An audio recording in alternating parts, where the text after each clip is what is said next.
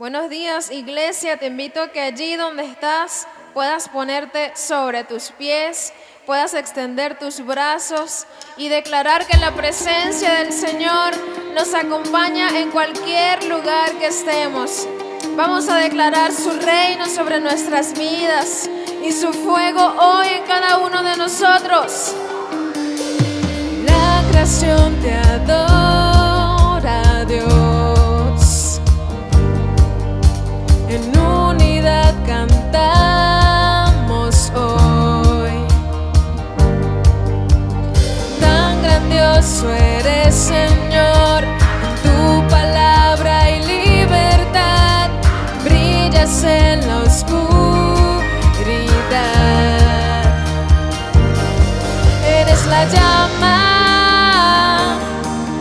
enciende nuestro interior.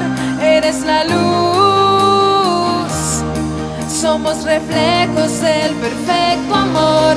Eres el fuego que está vivando nuestro ser y brillaremos con tu luz, Jesús, y brillaremos.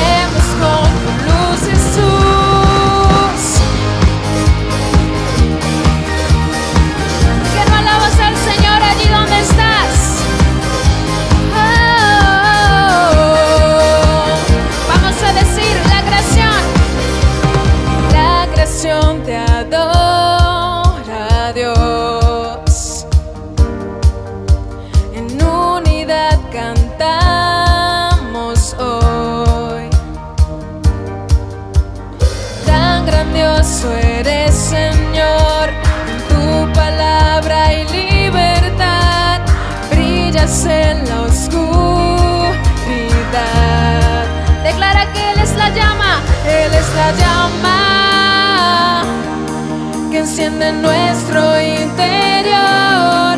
Eres la luz, somos reflejos del perfecto amor. Eres el fuego que está vivo.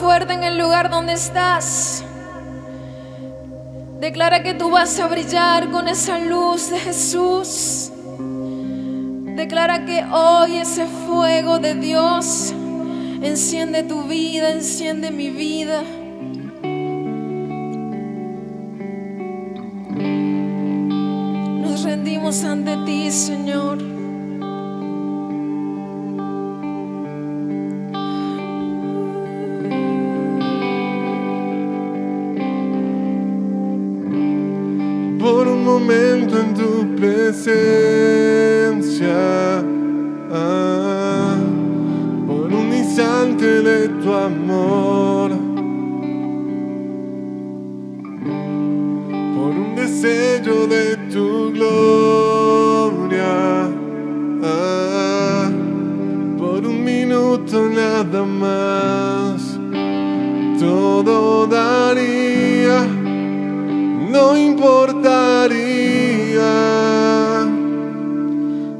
Tenga que pasar, lo que tenga que esperar. Tengo hambre de ti, de tu presencia, de tu fragancia, de tu poder. Hambre que duele,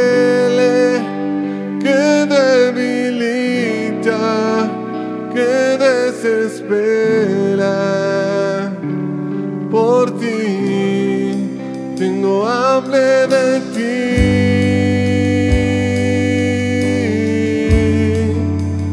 hambre de ti, Señor,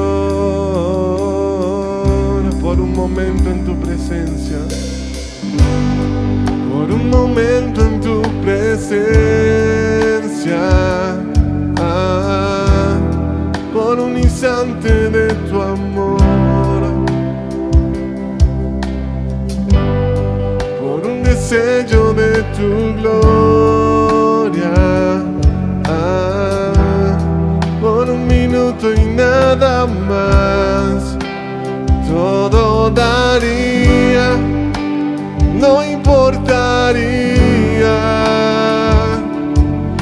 lo que tenga que pasar, lo que tenga que esperar.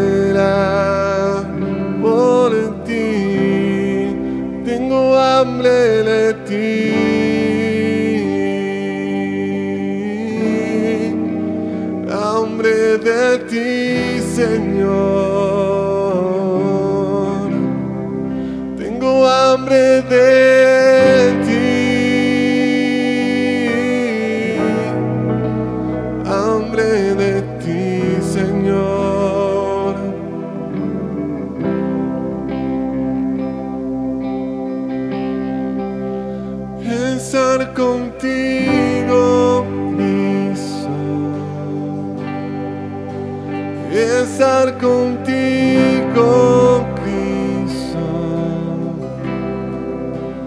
Estar contigo, Cristo.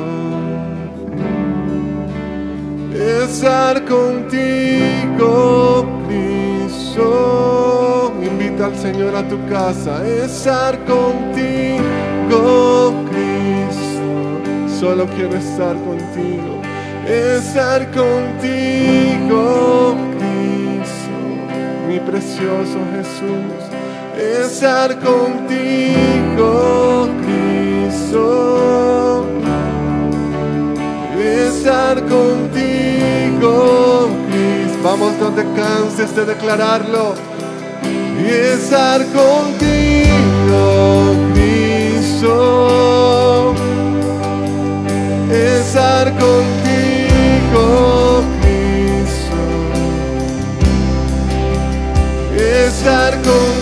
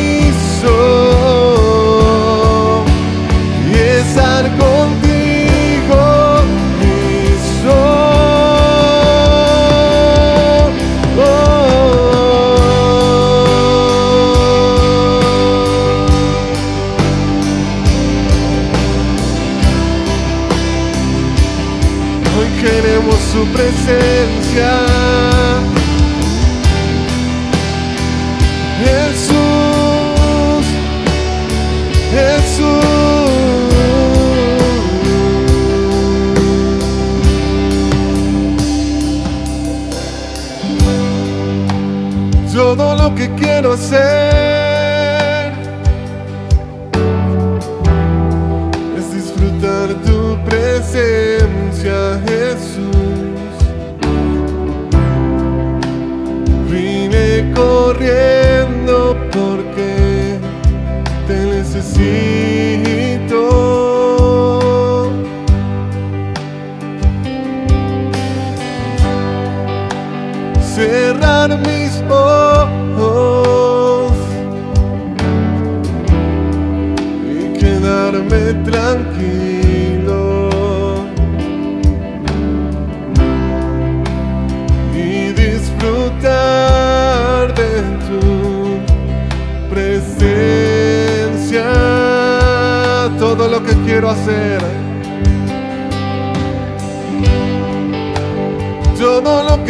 você.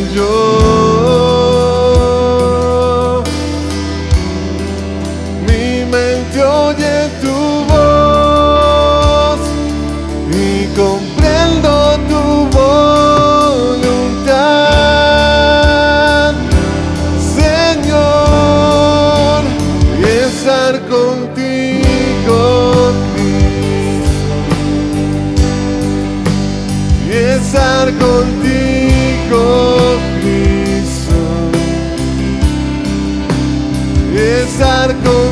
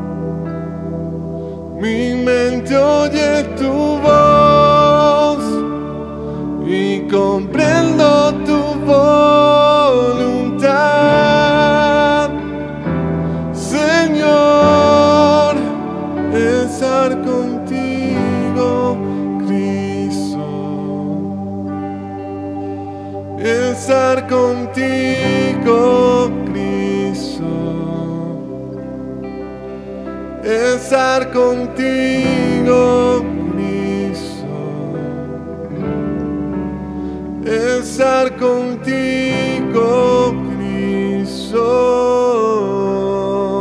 Y estar contigo, Cristo. Estar contigo, Cristo estar contigo,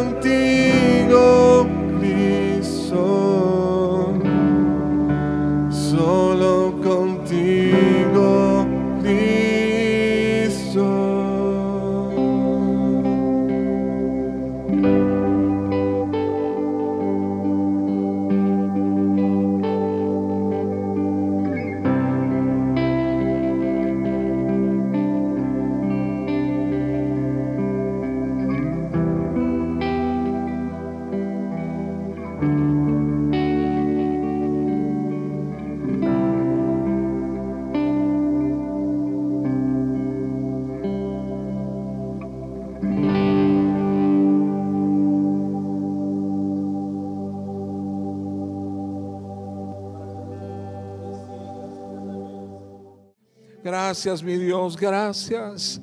Gracias por tu presencia. Gracias, Espíritu Santo, porque nos inundas con tu majestad, con tu gloria. Gracias. Gracias, Señor, por este día. Gracias porque estás allí en el sitio donde está cada televidente, cada uno que nos está viendo por las redes. Allí está tu presencia en cada ciudad, en cada casa, en cada país, en cada lugar donde estamos conectados. Allí se está manifestando tu presencia, tu poder, Señor. Te entregamos este día para que tú hagas lo que tengas en mente, para que tú desciendas y te reveles, Señor. Gracias, gracias en el poder de nuestro Señor Jesucristo. Así que dale un fuerte, fuerte aplauso. Dale un fuerte aplauso al Señor allí, donde quiera que estés. Aplaude, levántate allí de tu asiento, en tu casa, si estás en el automóvil o si estás en la oficina. Dale un aplauso bien fuerte al Señor para que Él sea glorificado, honrado. Gracias, gracias. Qué bendiciones poder estar conectados una vez más, a pesar de, de, la pandemia, de la cuarentena, de lo que sea. Pero cuarentena no para la iglesia, pandemia no para la iglesia. No hay nada que pueda detener a la iglesia porque las puertas del infierno no, no prevalecerán contra la iglesia. ¿Sabías eso? Así que bienvenidos, te bendigo. Damos gracias a Dios por este día maravilloso.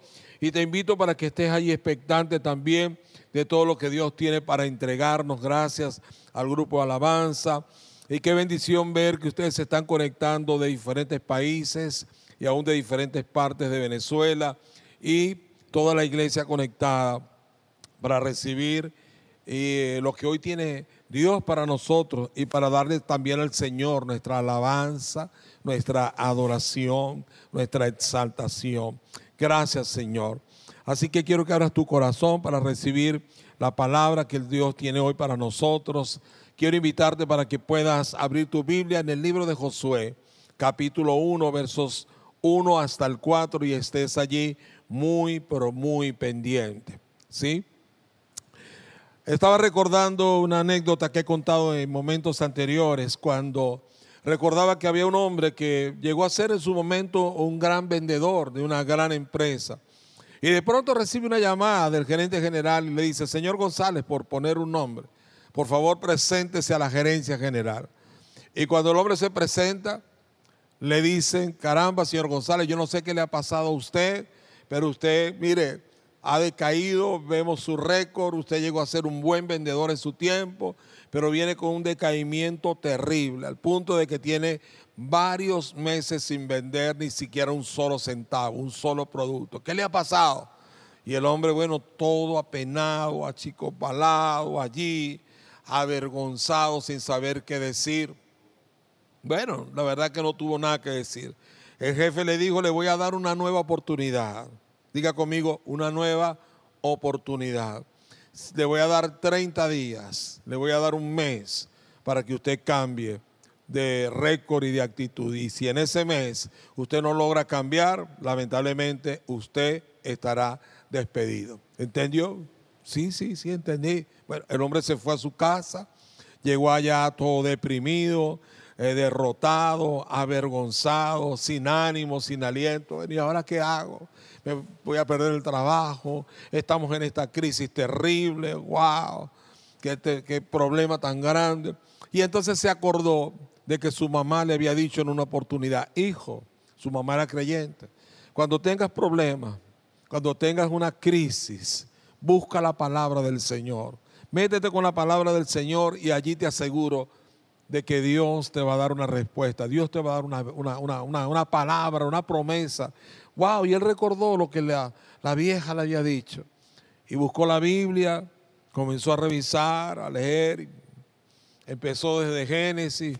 Y ya cuando casi se iba a dar por vencido, había revisado todos los libros de la Biblia, encontró casi en el penúltimo, o en el penúltimo eh, capítulo de, Apocalipsis, capítulo 21, verso 5 He aquí, dice el Señor, yo soy el que hago nuevas todas las cosas. Y digo, wow, aquella palabra le brincó, aquella palabra le saltó. Y digo, esta es la palabra que yo necesitaba. Wow, Dios es el que hace nuevas todas las cosas. Inmediatamente buscó eh, el banco, revisó, tenía una platica que le quedaba, se fue a una tienda, compró dos camisas nuevas compró dos corbatas, eh, oye, un pantalón, un par de zapatos y buscó entre los eh, viejos trastes que tenía a la, cartera de clientes, la lista y comenzó a llamar uno por uno. Señor Pérez, yo soy el señor González de la empresa. Oye, ¿dónde está usted metido? Y comenzó a llamar a uno y comenzó a llamar a otro. Y bueno,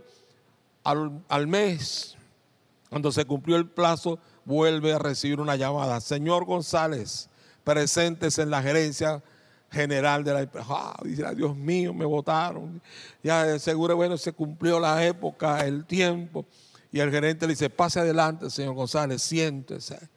Y el gerente lo mira así y le dice, ¿y usted qué hizo? Y el hombre, ¿qué, ¿qué hice yo? Yo no he hecho nada. Claro que usted hizo algo. Pero ¿cómo? ¿A qué se refiere? Todo atemorizado, todo apenado. ¿Qué hizo? Pero no sé. Porque mire, este mes usted llegó a ser el mejor vendedor de, la empresa. Usted batió todos los récords. ¿Qué pasó de cero? Usted mire, sobrepasó a todos los, empleados, juntos. Y ay Dios mío, gloria a Dios. Entonces le contó el cuento, le echó la historia. Que mi mamá me dijo que buscara una palabra, busqué una palabra, encontré esta palabra y yo tomé esa oportunidad. Yo entendí que Dios me estaba dando otra oportunidad y yo decidí aprovechar esa oportunidad. Por eso hoy quiero hablar del tema recibiendo este, otra oportunidad. O si lo quieres llamar de esta mejor manera, tengo una nueva oportunidad. Dile a la persona que está a tu lado, tengo una nueva oportunidad. Y quiero que leas conmigo el libro de Josué, capítulo 1, verso 1 al 4. Dice la palabra en Josué capítulo 1, versos 1 al 4. Aconteció después de la muerte de Moisés, siervo de Jehová, que Jehová habló a Josué, hijo de Nun, servidor de Moisés, diciendo, mi siervo Moisés ha muerto. Ahora pues, levántate y pasa este Jordán tú y todo este pueblo a la tierra que yo les doy a los hijos de Israel. Yo he entregado, yo os he entregado como lo había dicho Moisés, oiga bien, todo lugar que pisare la planta de vuestro pie. Verso 4, desde el desierto y el Líbano hasta el gran río Éufrates, toda la tierra, diga conmigo, toda la tierra de los Eteos, hasta el gran mar será qué cosa? Hasta el gran mar donde se pone su, eh, donde se pone el sol, corrijo, será vuestro territorio. ¿Qué tal si oramos un minuto? Padre, gracias, porque hoy tienes una palabra para mi vida. Hoy me vas a hablar. Hoy es el día cuando me estás dando una nueva oportunidad. Abre mi entendimiento, porque yo abro mi corazón para recibir lo que hoy me quieres decir. Gracias, oh Dios. Gracias, Espíritu Santo, por la palabra que me estás dando hoy y por la nueva oportunidad que estás dando a mi vida. En Cristo Jesús. Amén, amén y amén. Sabes, eh, creo que el pueblo de Israel venía de varias pandemias venía de una pandemia de 430 años, que yo la llamo la pandemia de la esclavitud. Venían de ser 430, años esclavos en Egipto, sin ni siquiera derecho a su propia vida, su propio destino. Viene Moisés, por la mano del Señor los saca de Egipto, entran al desierto rumbo a la tierra prometida, se corrompen, murmuran, critican, viene el juicio de Dios y caen en lo que yo llamo la pandemia del desierto. 40 años dando vueltas en círculos hasta que la generación rebelde y contradictora muriera. Y cuando ya van a entrar listos, casi listos para entrar a la tierra prometida, vuelve y viene otra tragedia, por llamarlo de alguna manera, algo inesperado muere el gran líder Moisés. ¡Wow! Yo me imagino que el pueblo de Israel, Náhuara, 430 años de esclavos, 40 años dando vueltas en el desierto. Y ahora estamos a punto ya, la nueva generación, de entrar a la tierra prometida y el líder se nos muere. ¿Quién, Dios mío, ahora, me imagino que dirían así, y ahora, ¿quién podrá ayudarme? Bueno, para ese entonces, no estaba el Chapulín Colorado. Pero ahí salió el Señor y le dijo, yo podré ayudarte porque yo tengo una nueva oportunidad para ti. Muchos pensaron, se acabó todo, se acabó la esperanza, se acabó la oportunidad. ¿Cómo hacemos ahora sin el hombre de los milagros, sin el hombre que hablaba cara a cara con Dios? ¿Y ahora qué hacemos?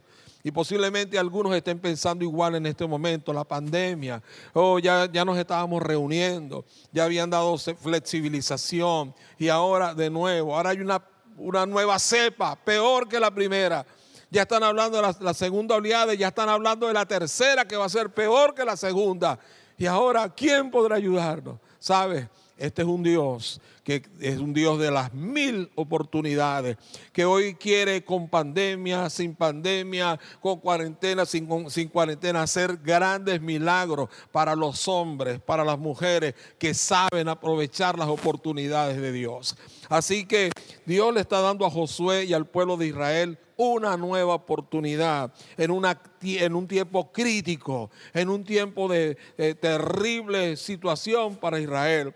Pero sabes, hay tres características. Diga conmigo, tres características de los hombres y de las mujeres que aprovechan las segundas oportunidades o las oportunidades que Dios nos da.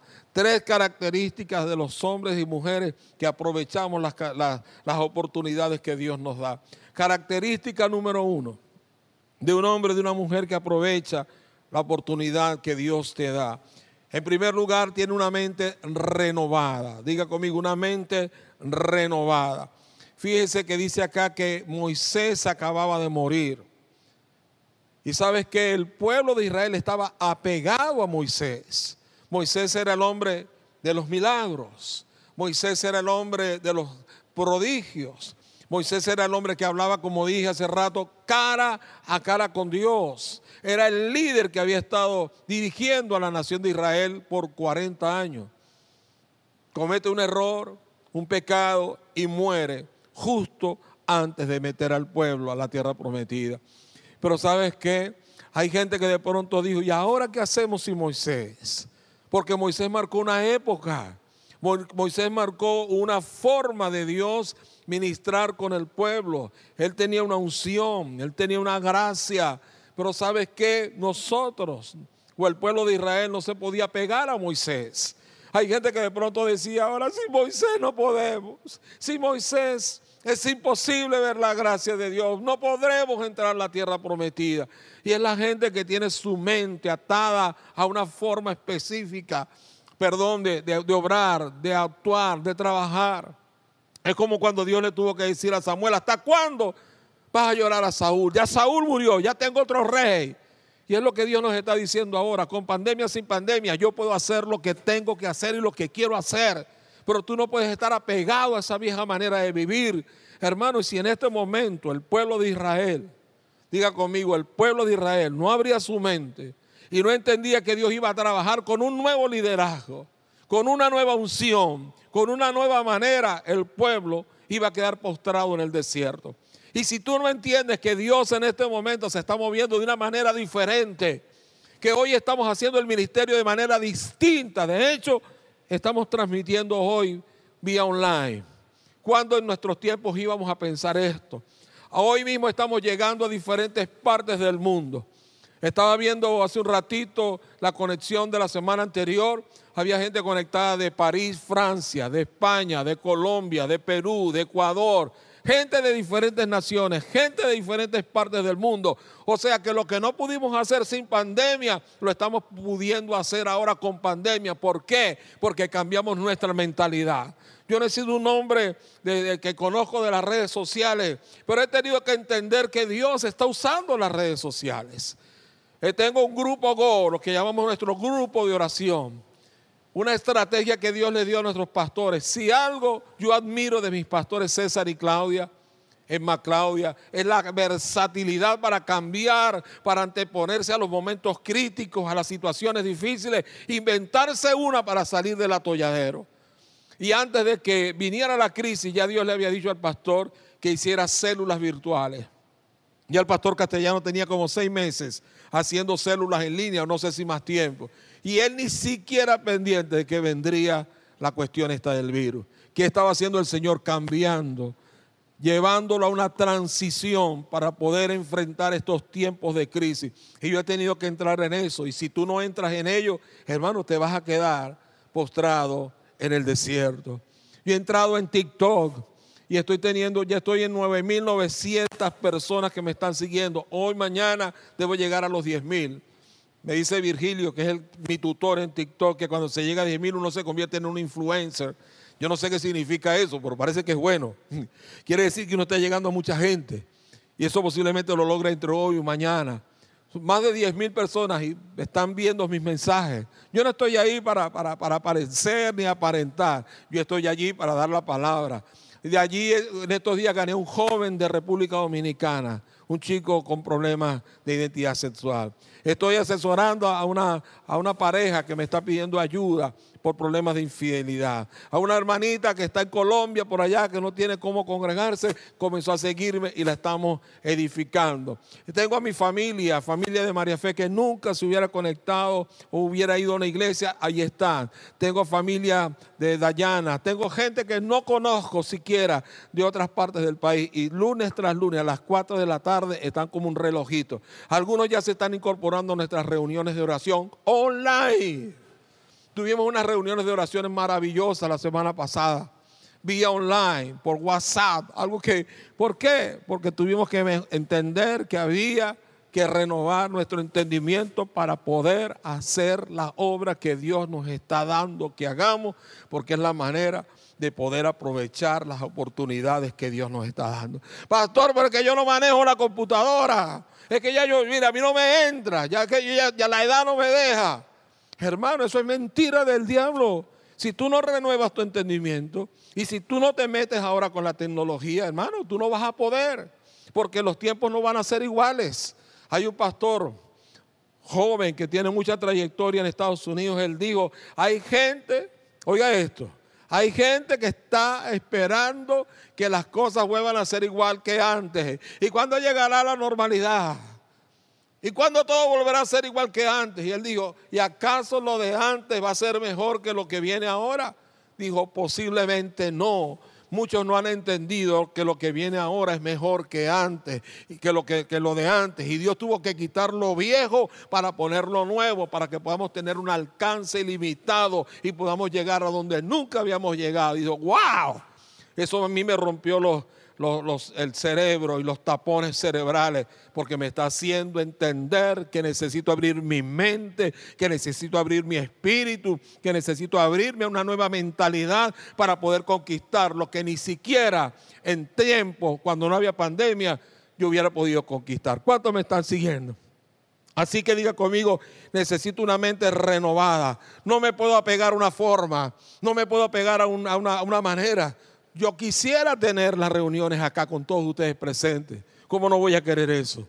Hermano, pero hay un tiempo diferente y sencillamente ¿qué hago? Me adapto, renuevo mi mente. Fíjense lo que hizo el pastor castellano. Dan la autorización para comenzar a reunirse en Colombia. Él dice, no, así hayan dado autorización, las condiciones sanitarias no están. Y dice, la iglesia no se reúne.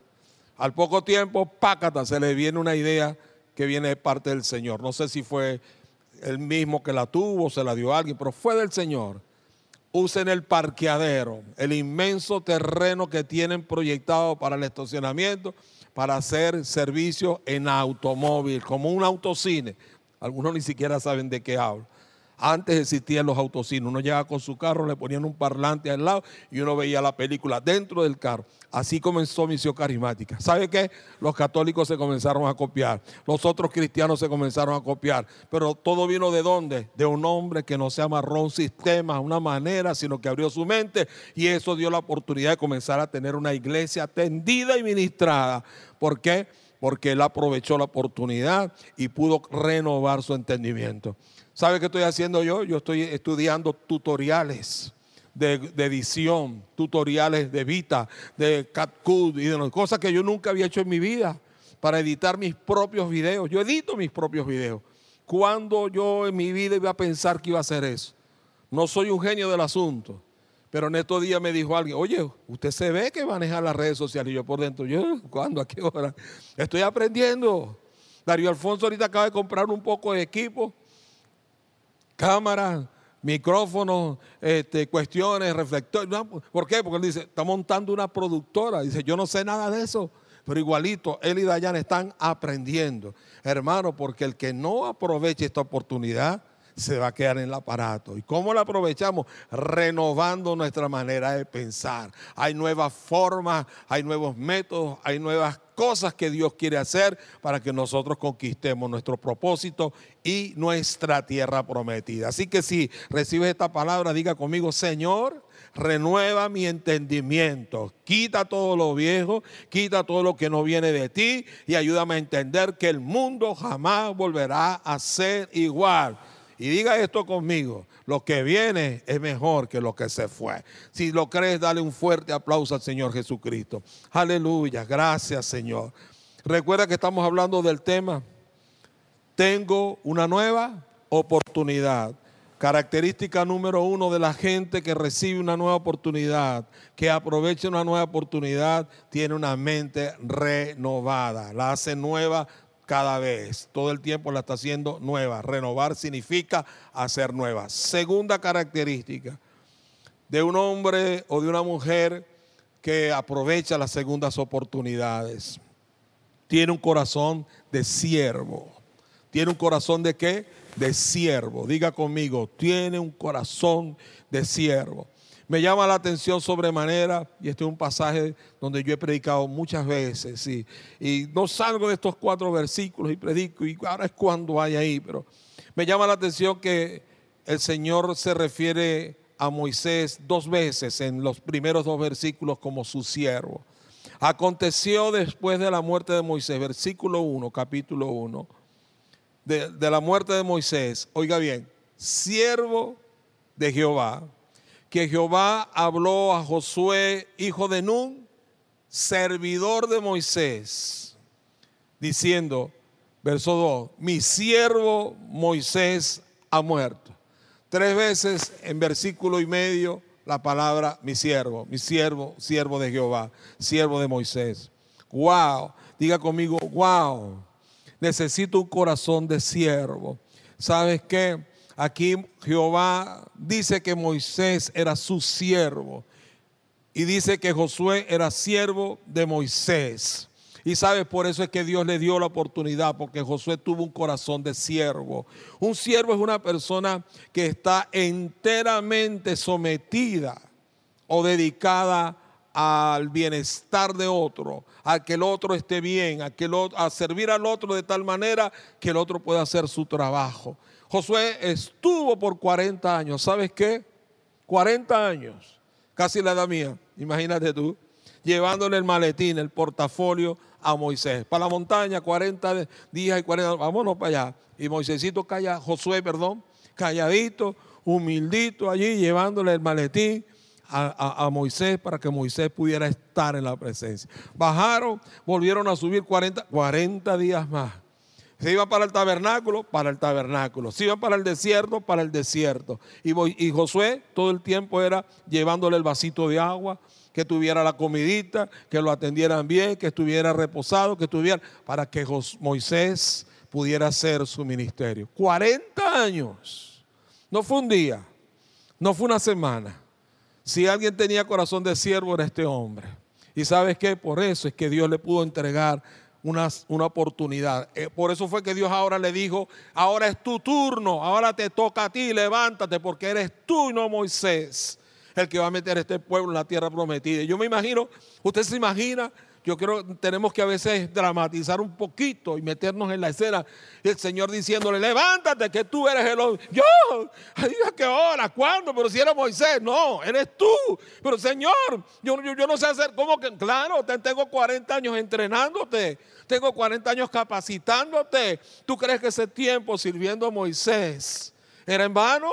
era inútil. Yo te estaba mirando, yo te estaba observando, yo te estaba capacitando. Señor, ¿por qué no sé hacerlo? ¿Cómo que no? Tranquilo, que yo voy a estar contigo. Tienes un corazón de siervo. Y a los que tienen un corazón como el tuyo, yo los puedo usar. ¿Sabes? Hay gente que llega aquí a la iglesia y quiere que uno los ponga a predicar de una vez. Quiere gente, gente que, me acuerdo que aquí llegaron una vez unos cantores, entre esos Leo, Leo, y su hermano venían del mundo de la farándula. Y me acuerdo que en ese entonces era el pastor Esnel el director de alabanza. Y no teníamos muchos cantantes y cantores y músicos. Y yo le decía, Nelito, ¿y cuándo le vas a poner? A... Me decía, pastor Achante, pastor Aguante. ¿Y por qué, pastor? Porque necesitan un tratamiento.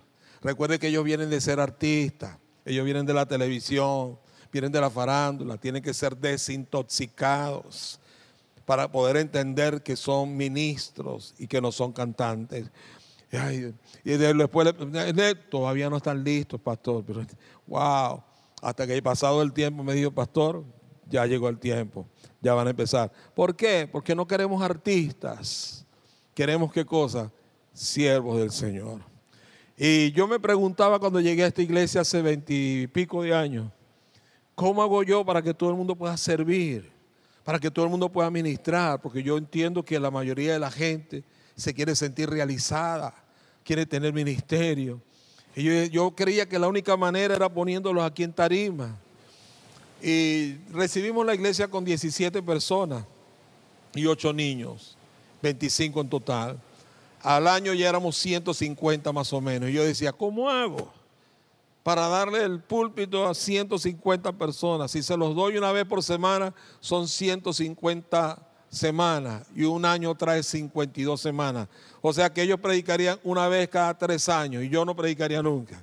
Pero entendí que no era la manera hasta que entendí lo que era la visión celular, poder trabajar con los grupos pequeños, poder trabajar en las casas. ¡Wow! Y allí fue cuando Dios me mostró esta visión a través de nuestros pastores, que la gente puede servir, porque un líder de célula es lo mismo que hago yo aquí. Tiene que predicar, tiene que orar, tiene que meterse con el Señor, tiene que pedir sabiduría, tiene que buscar la unción del Espíritu Santo, tiene que asesorar, tiene que aconsejar, tiene que orar por la gente, tiene que interceder, tiene que aprender a predicar, tiene que hacerlo todo. Todo lo que yo hago en pequeño.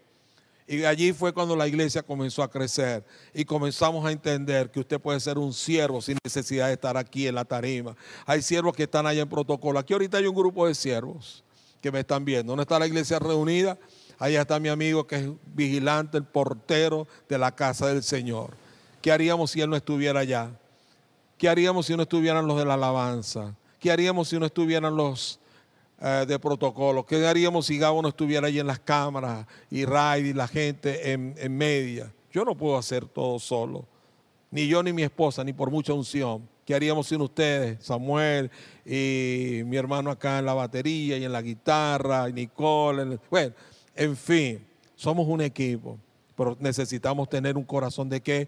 De siervo.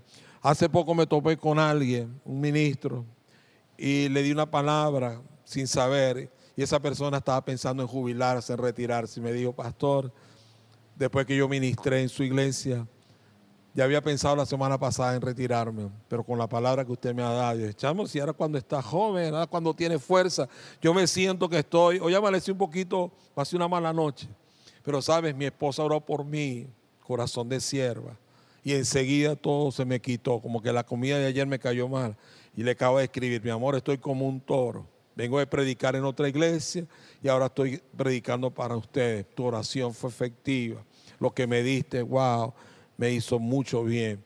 Así que este es el tiempo, amado, un corazón de siervo. Hay gente que quiere llegar de una vez aquí arriba, pero no quieren pasar por abajo. Hay gente que quiere ser usado por Dios, pero cuando uno le dice que limpie una poseta, salen corriendo, reprendiendo al diablo. ¿Sabe algo que aprendí de los pastores castellanos recién empezando el ministerio con ellos?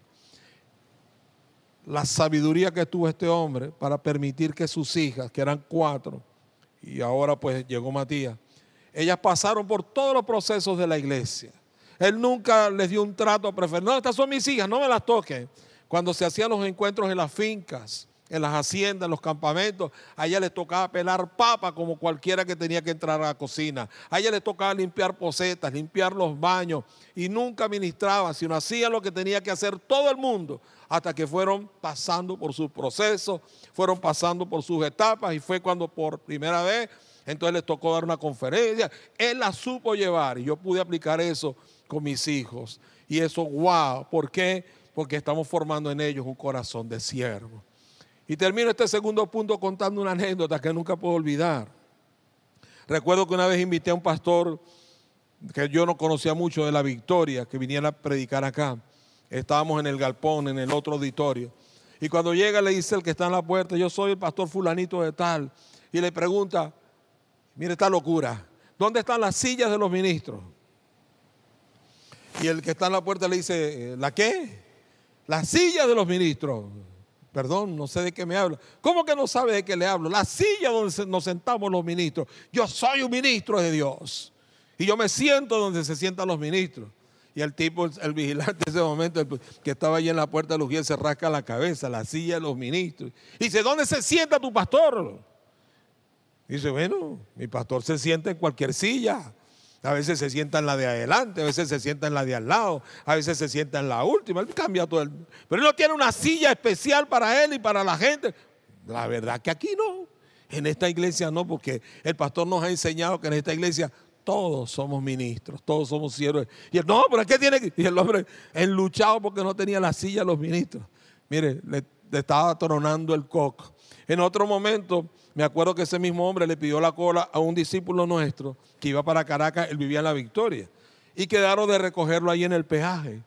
Y cuando lo recoge, va mi discípulo solo en el carro. Y el hombre se, eh, bueno, se encuentran en el sitio acordado y el hombre se le mete y se monta en la parte de atrás. Y él le dice, oye hermano, varón, siéntese aquí adelante conmigo para que, momentico, los ministros nos sentamos atrás los ministros nos sentamos adelante con el chofer. ¿Qué es esto? O sea, Dios mío, y así hay gente en la iglesia. Hermanos, solo los que tienen un corazón de siervos, que estén dispuestos a hacer lo que sea, son los que van a ser utilizados por el Señor son los que van a recibir esa posibilidad de ver las grandes oportunidades. Dios utiliza a los hombres humildes, sencillos. Dios utiliza a los que están dispuestos a hacer lo que sea sin pretender nada, a, servir al Señor así, sin que nadie los tome en cuenta. No están buscando reconocimiento, no están buscando aplausos, están buscando simplemente que Dios los sirva, que Dios los bendiga. Me, me complació mucho que en estos días estaba predicando mi esposa María Fe Y yo dije, oye, voy a recoger la ofrenda junto con el resto del equipo. Y le dije a la encargada de protocolo, dame mi, mi, mi, mi alfolí. Ah, bueno, pastor, usted tiene que parar allá, primera fila, sí, hace lo que hacen los demás, con la mano aquí atrás y no sé. Ah, está bien. Bueno, y recogí la ofrenda en los tres servicios. Y luego, esta tarde, al otro día me llamó un discípulo. Dijo, pastor, gracias. Digo, gracias por qué. Pastor, porque me llamó un discípulo mío y me dijo, wow, que había sido impactado, que su vida había sido tocado cuando lo vio a usted recogiendo la ofrenda.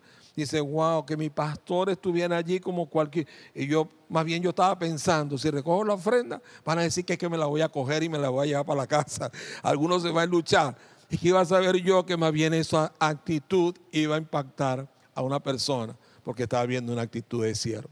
En estos días hubo que echarle mandarle a esos pisos allí para cambiar la posición de las cornetas. Yo llegué un rato, ahí me puse a echar mandarria, me sacaron una foto. Yo no me puse para la foto. Hermano, pero hay que echar mandarria, se echa mandarria, hay que cargar los equipos cargados. ¿Quién dijo miedo? ¿Y a quién va a usar Dios? Para que tú llegues a ser un gran siervo. Porque los que quieran ser grandes en el reino tienen que ser los servidores de los demás. Aquí es al revés. ¿Quieres llegar lejos? ¿Quieres ser usado por Dios? ¿Quieres que Dios te dé otra oportunidad? Entonces comienza a servir. Dile al pastor, dile a tu líder, ¿qué tengo que hacer? Lavar los baños, ¿quién dijo miedo? Eh, cuidar los carros, vamos para allá. Aguanta sol, salir a predicar. Aquí estoy, cuenta conmigo, porque yo tengo un corazón de siervo. Pues si puedes darle un aplauso bien fuerte al Señor allí en el sitio donde está. Dale un aplauso bien fuerte. Estamos hablando del tema, ¿te acuerdas cómo se llama el tema? Tengo una nueva, ¿qué? Oportunidad. Puedes decirlo en voz más alto, tengo una nueva oportunidad. Y recuerda que los que tienen una, una, nueva oportunidad, se me está trancando la lengua, son los que tienen una mente renovada. Número dos, son los que tienen un corazón de siervo. Y número tres, son los que tienen una visión ilimitada. Una visión que ilimitada. Fíjate lo que dice aquí en el capítulo 1 de Josué, verso 3. Yo os he entregado, como lo había dicho Moisés, ¿qué cosa? Todo lugar que pisare la planta de, vuestros, de vuestro pie. Todo lugar que pise la planta de tu pie, yo se los he entregado. No dice se los voy a entregar, ya se los he entregado.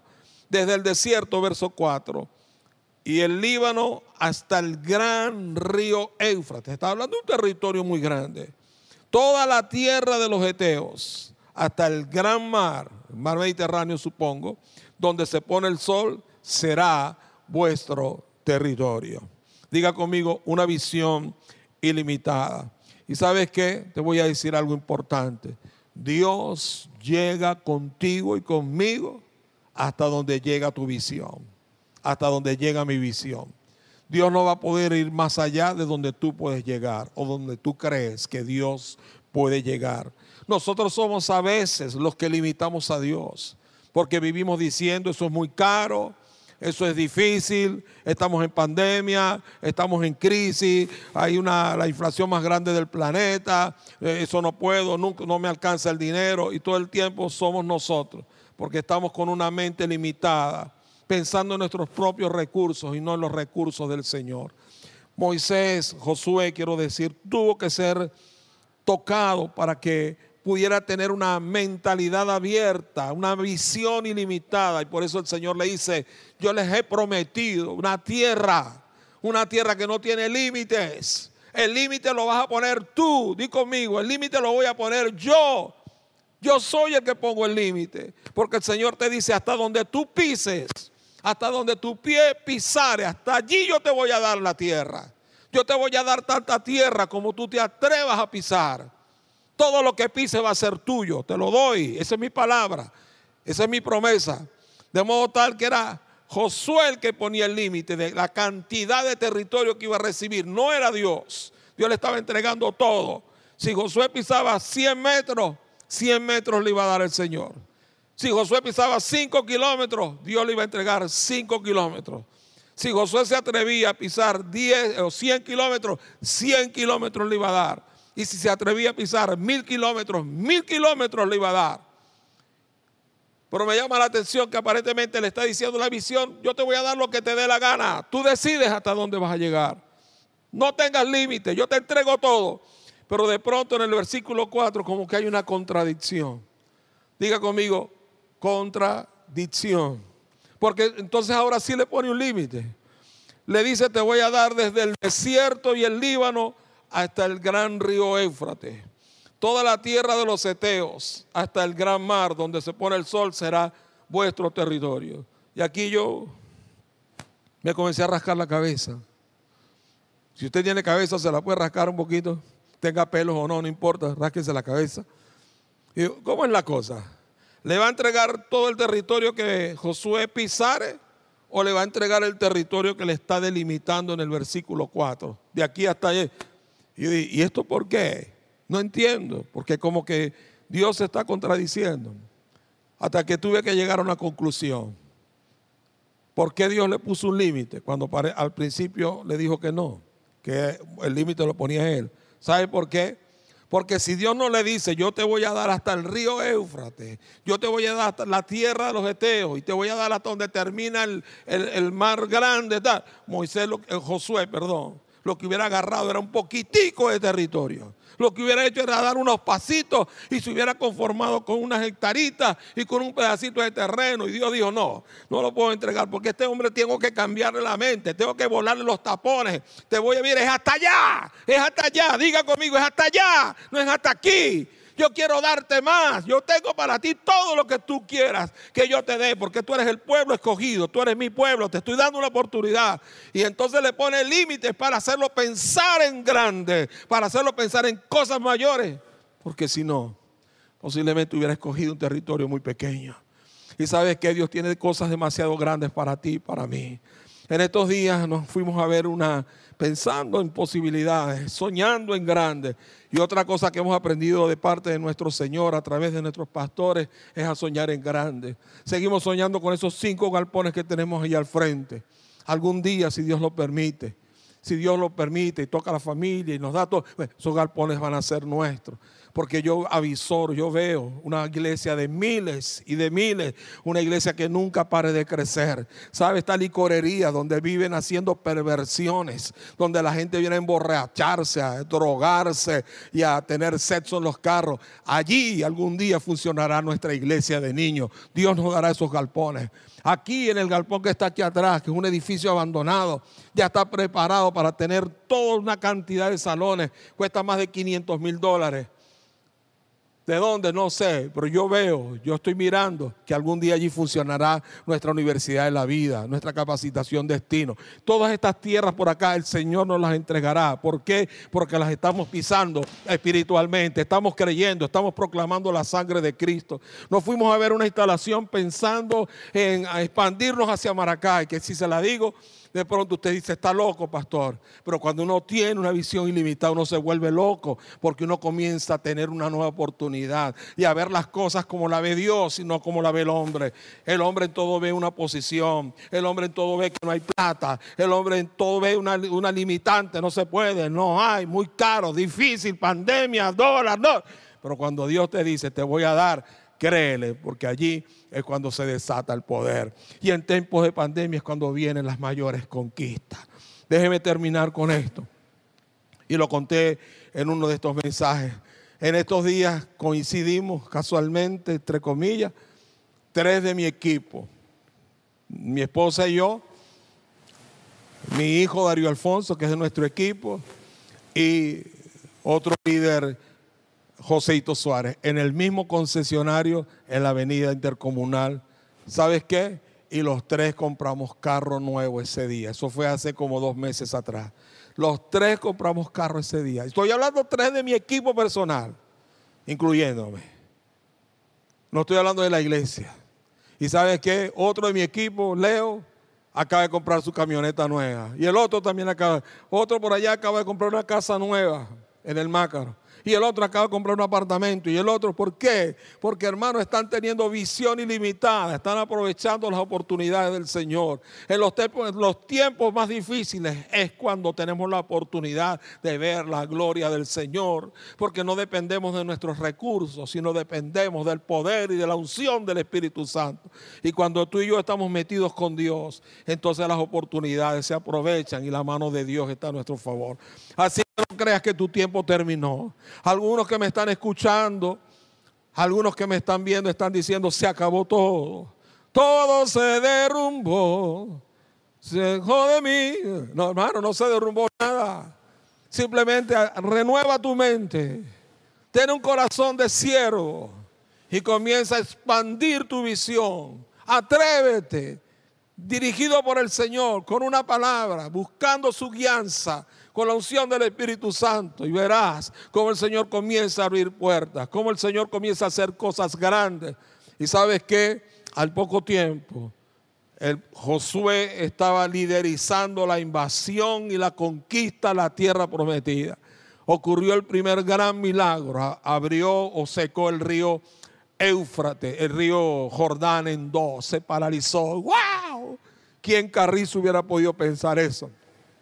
Porque ese hombre, que solamente unos días antes estaba pensando que todo había terminado porque había muerto Moisés, ahora cuando era, ahora era hora cuando estaba comenzando lo mejor de su ministerio que duró 40 años más. Así, sí que tú, así que si tú crees que Dios terminó contigo, te tengo una palabra. Ahora es cuando Dios está empezando lo mejor que tiene para tu vida. A mis 63 años, hermano, a menos que Dios decida otra cosa, yo me siento como un toro. Yo me siento con la fuerza del búfalo. A veces me canso, a veces, pero yo tengo tantas ganas junto con mi esposa de seguir conquistando. Y posiblemente, ya para terminar, hay algunas cosas que quizás yo no veré la verán mis hijos, si es que no nos vamos juntos todos pronto en el arrebatamiento, que yo creo que falta muy poco tiempo. Pero mientras tanto, seguiré renovando mi mente, seguiré pidiéndole a Dios que me permita tener un corazón de siervo y le pediré al Señor que me permita pensar en grande, con una visión ilimitada. Así que te quiero pedir que pongas tu, tu mano en tu pecho y le digas, Señor, aquí está mi vida Señor, aquí está mi corazón. Si tú eres uno de los que se siente apesadumbrado, achicopalado, si eres uno de los que quizás no ha regresado de pandemia, que creíste que todo se acabó, dile, Señor, perdóname, porque no había tomado en cuenta que tú me estás dando otra oportunidad como el hombre de la historia, el Señor González. Tú le diste una palabra y ese hombre llegó a ser el mejor vendedor de la empresa porque cambió de actitud. Señor, yo recibo tu palabra. Yo no me dejo, Señor. Yo me sacudo el polvo. Por favor, renueva mi mente. Por favor, ayúdame a tener ese corazón de servicio. Ayúdame a servirte, a hacer lo que sea, con tal de que sea para ti. Ayúdame a pensar en grande. Quítame la miopía espiritual. No me dejes moverme por mis por mi lógica, por mi razonamiento. Señor, si tú dices que me vas a entregar la tierra, tú lo vas a hacer. Y gracias porque en estos tiempos de pandemia estamos viendo las más grandes conquistas. Gracias, Señor, porque tú me vas a usar. Tú me estás dando otra oportunidad. Gracias porque yo la aprovecho. Porque si Josué no lo hubiera aprovechado, con toda seguridad tú hubieras llamado a otro, posiblemente a Caleb que era el otro que aplicaba, Señor. Pero yo no voy a dejar que nadie me robe mi bendición, porque al que tú promueves nadie lo detiene, pero el que se promueve a sí mismo, inmediatamente Él se detiene a sí mismo, Señor. Aquí estoy, úsame. Aquí estoy, haz conmigo lo que quieras. Ayúdame a estar alineado con tu pensamiento y tu manera de pensar. Gracias, Señor. Gracias, Señor. Cambia mi vida. Dame estas tres características de una persona que sabe aprovechar la oportunidad que tú le estás dando. Renuévame, transfórmame. Oh Señor, dame tu visión, tu mirada. Dame esa humildad y esa sencillez para ser ese hombre o esa mujer que tú quieres que seamos. Yo bendigo a cada persona que nos está viendo.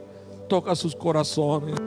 Padre, y tú yo sé que tú le estás diciendo, yo siento que Dios te está diciendo a varias personas en particular, hijo, hija, no he acabado contigo. Aunque estoy grabando esto con una semana de anticipación, cuando estés viendo esto, tú vas a saber que esta palabra es para ti. Y siento que Dios le está diciendo a varias personas en particular, tú que creíste que había acabado contigo, tú que creíste que ya no podía hacer nada, que todo se había derrumbado, hoy te digo, levántate y pasa este Jordán tú con todo el pueblo porque yo te voy a usar. Tengo grandes cosas, no he acabado contigo, apenas estoy empezando, así que no te dejes, sacúdete y levántate porque te voy a usar en grande. Esa palabra es para ti. Tú vas a saber que eres tú a quien Dios le está hablando. Gracias Señor en el nombre poderoso de Jesús. Amén, amén y amén Señor. Gracias. Dar un aplauso bien fuerte a Jesús. Pues párate allí donde estás en tu casa y dar un aplauso bien fuerte a Jesús y dile gracias porque tengo otra oportunidad. Gracias Señor. Gracias mi Dios. Quiero que cantemos juntos. ti todo lo puedo, todo es posible. Oh sí, Señor. Y la fuerza tú me das. Cántalo con Nada nosotros. Es imposible,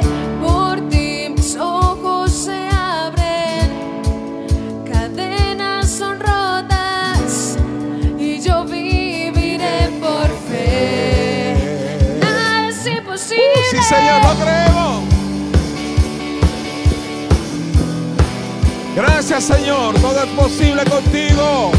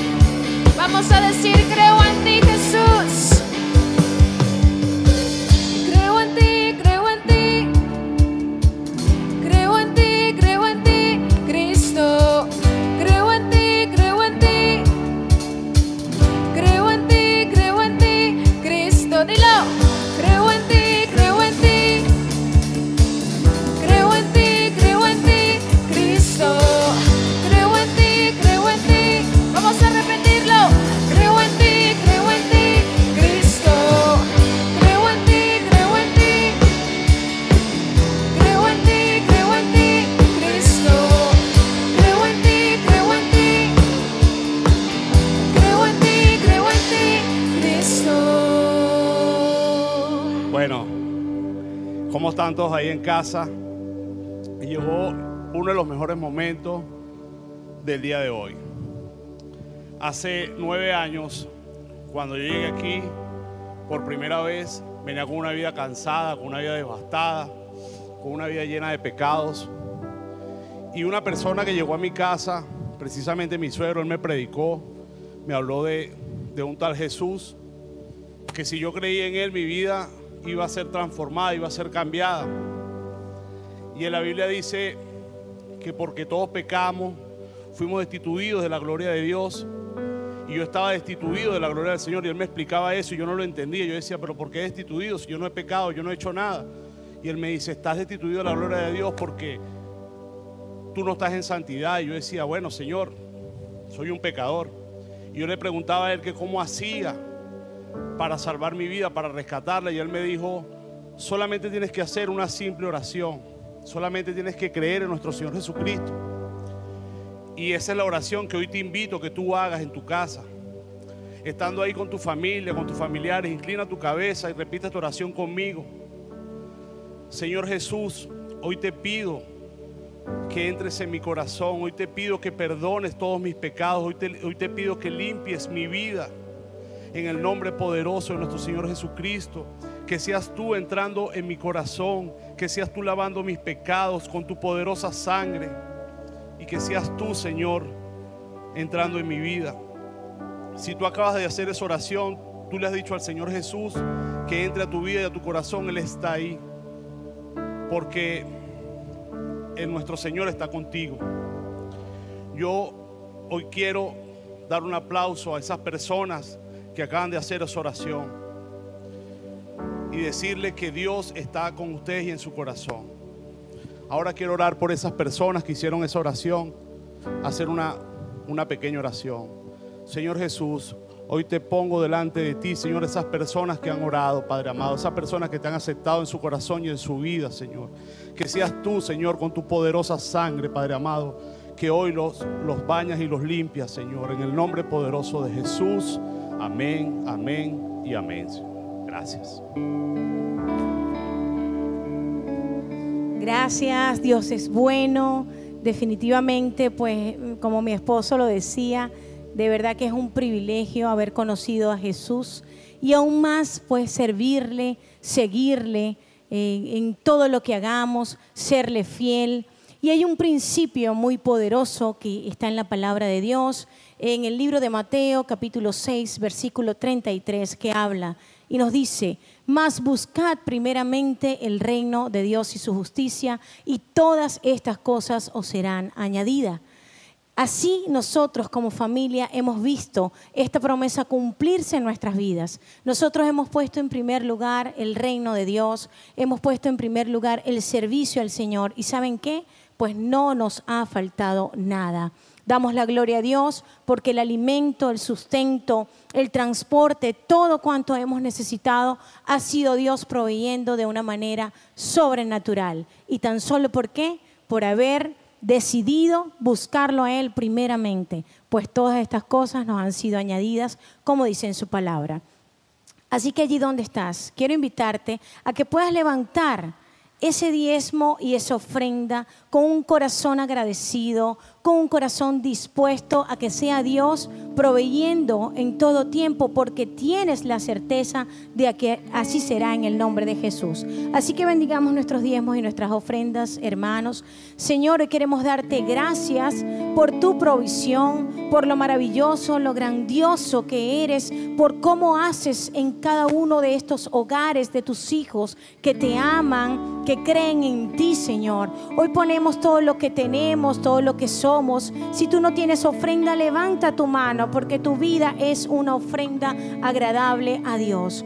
Gracias Señor por todo lo que has provisto y lo que aún proveerás en el nombre poderoso de aquel que tiene nombre sobre todo nombre.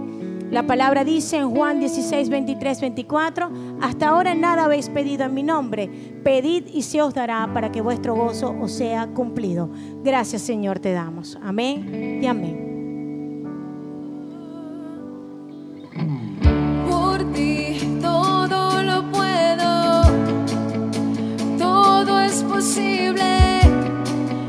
Fuerza tú me das. Nada es imposible,